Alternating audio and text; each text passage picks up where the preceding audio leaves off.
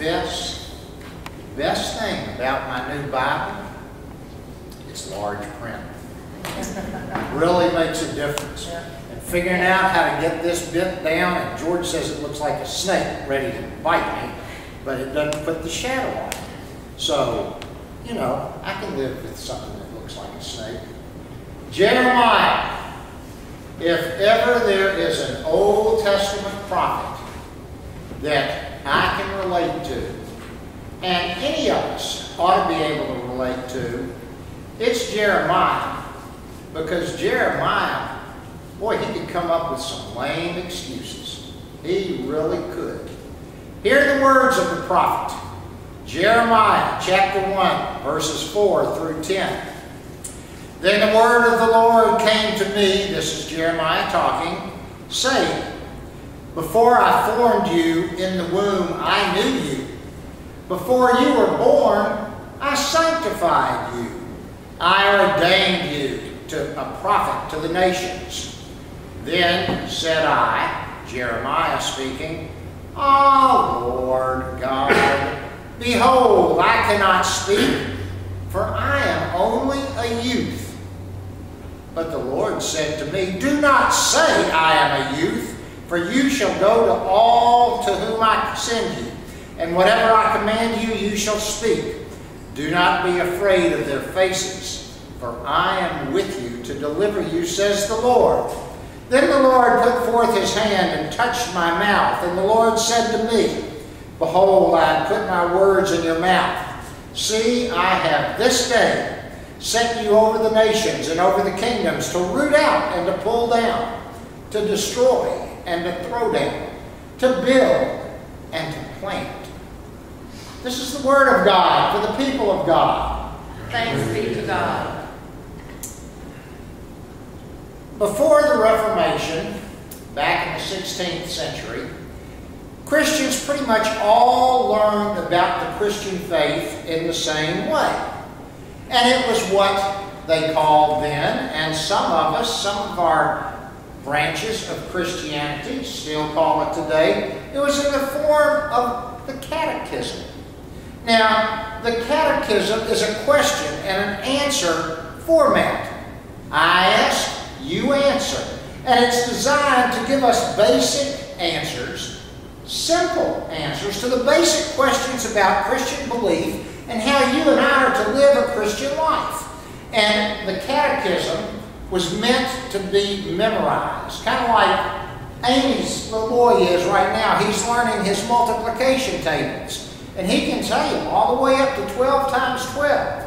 And that's the way the catechism was supposed to be done back then. We know 2 times 2 equals Four. All right, we just had a catechism right here. So we've done that. You know, but it's to help us, catechism is to help us to ask the right questions and not only to ask the right questions, but to find the right answers. And that's the key to living life as God intends for it to be lived. In the Presbyterian Church today, and they still have the catechism, as do our brothers and sisters in the Roman Catholic Church, as do our brothers and sisters in the Anglican and Episcopal Church. Many churches still have the catechism. It may vary from branch to branch, but the more liturgical churches still have the catechism. But in the Presbyterian Church, the first thing they ask is to learn about how to live, and the question is, what is the chief and highest end of mankind? Well, let's put that into, you know, the vernacular of 2016, and let's put it in my language and your language, and my question and your question would be, what's the point in my life? Why am I here? Why do I get up on Monday morning and do what I do all week long? you know, why am I here? And the answer is man's chief and highest end is to glorify God and to fully enjoy God forever. Because before all else in life, what life is all about, both now, then, and forever, for you and me, and all who are before us, and all who will come after us, life is about glorifying and enjoying and having a good time with the God who made us. Now, I'm not sure we always think that God is there for us to have a good time with. You know, that's not what we learn in Sunday school when Gilbert Bays and Golda Bays at Old Macklemore Christian Church used to rap my knuckles or pull on my ear and tell me to hush. You know, I wasn't having a good time in Sunday school in the third grade. I can tell you that, and I didn't think God wanted me to. But think about the 19th century hymn writer. A couple of y'all may have been there with her, Fanny Crosby. And she put it this way, To God be the glory, great things he hath done. Praise the Lord, praise the Lord, let the people rejoice. That's what we're to give glory to God and be joyful. That's what my life and that's what your life is all about. Back in the second century, go back a long way, this dude, St. Irenaeus, put it this way The glory of God is a human being. You, Shante, you, Floyd, all of us. The glory of God is a human being who is fully alive and rejoicing in Him. When we are living the godly life, when we are living the life that He has set out for us, guess what He does? He smiles. He says, Wow, that's what I wanted to do. That's what I put her here to do, is to live this life and live it abundantly. So, very simply, the purpose of life is just breathing in and breathing out and reaching out and doing it joyfully.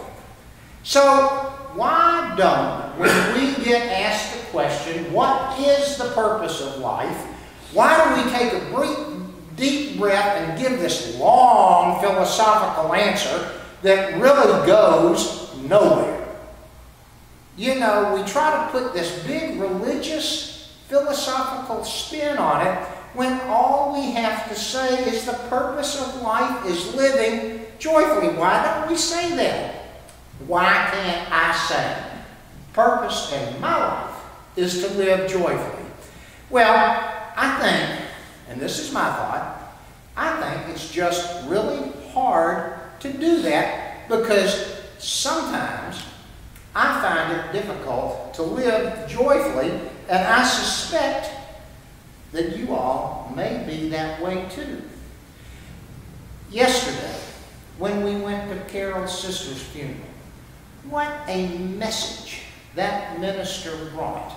In a time of sadness, in a time of missing and saying, I'll see you later, but he talked about the joy of knowing that Marie had gone someplace better. It wasn't a time of wailing and gnashing of teeth. That this was a time to contemplate the joy of the presence of the Holy God. And I walked out of there and I told him, I told him as I walked out, every one of us occasionally needs a good Baptist sermon. And he just delivered one whale of a sermon but it wasn't a sermon because I don't like the word sermon. It was a message. It was a message to me.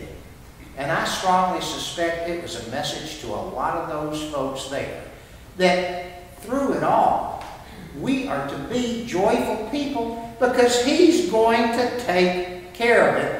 But the sad time thing is, we as humans just have a heck of a hard time being happy people, and that in and of itself is a sin. Someone once said, and I read this as I was studying, that our, when our living this life is done, the one thing that God may hold all of us accountable for is our having failed our having failed to enjoy all of the good things that He's put out there for us. And we've failed to live a life that glorifies Him by the way we live it. So let's go to Jeremiah. Jeremiah, he was a preacher's kid, poor thing. He was a preacher's thing who grew up to preacher's kid, grew up to be a prophet.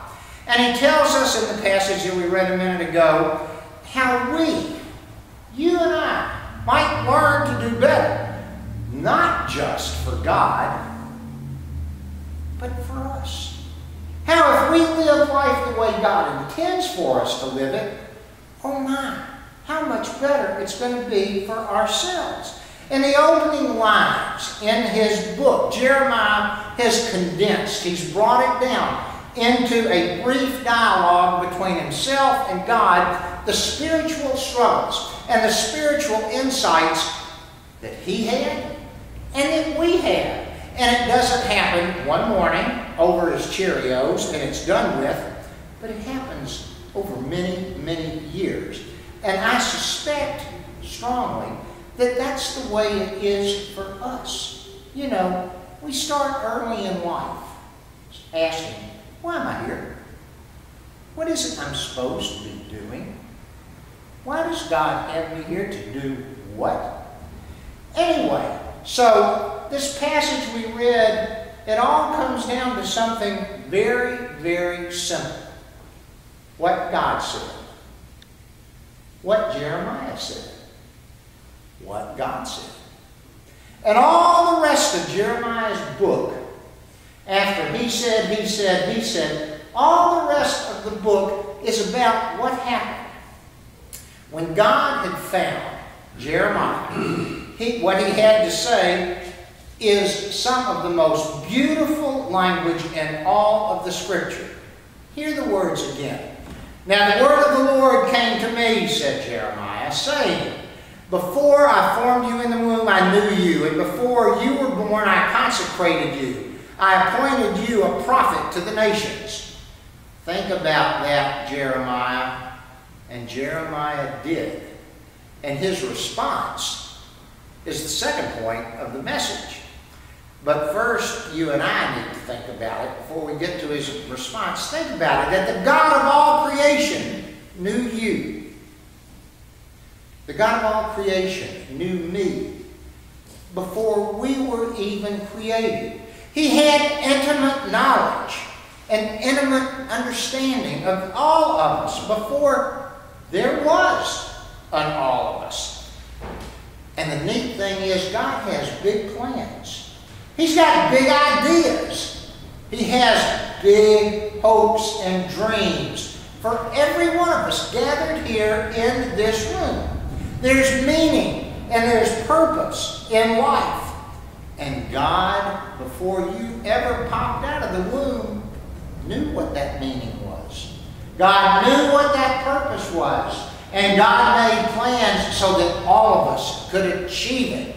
Now, I know in my life, and I suspect in yours, it doesn't always seem like that. Sometimes it seems that what God has in mind for me, I'd like to hold my hand up and say, uh-uh, let Floyd do it. Uh-uh. Give that, give that to Bridget. Let her do it. I don't think I really care to be involved. We all tend to do that sometimes. We all tend to do that.